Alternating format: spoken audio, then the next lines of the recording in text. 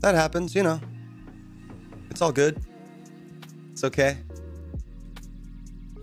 Oh, my hair's so greasy. I need to wash it, bro. This, it's like it's like piecing out in chunks. Look at that scalp. Should I start parting it in the middle, you guys? Ugh.